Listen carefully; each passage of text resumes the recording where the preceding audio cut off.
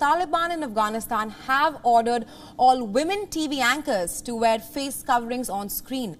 The male TV presenters in Afghanistan are now taking a stand for their women anchors. Male anchors have now started covering their faces with masks before presenting the news. Our next report tells you more. Take a look.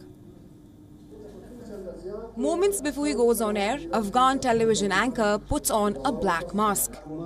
Why? This is to show solidarity with his female colleagues and to protest against the Taliban's order, which has forced the female presenters to cover their faces while anchoring.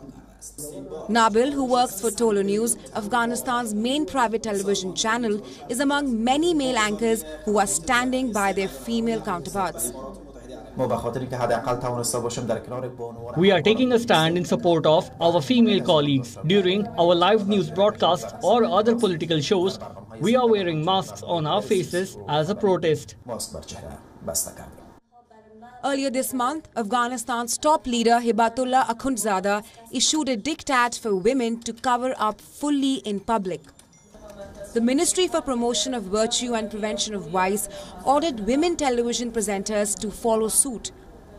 The women initially defied these orders, but now they're wearing full hijabs and veils that leave only their eyes on view across channels.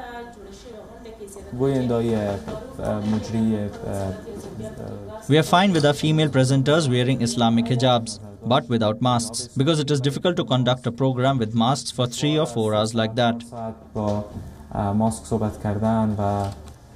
The Taliban officials do not appear to be in favor of rolling back the decree.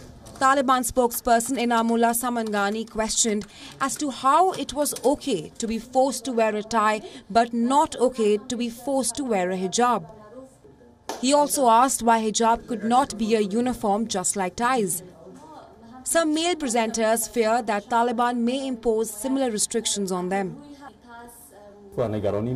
Today you have imposed restrictions on women. Many male presenters are now worried that tomorrow there will be restrictions on them too regarding how to dress. I am also worried about it.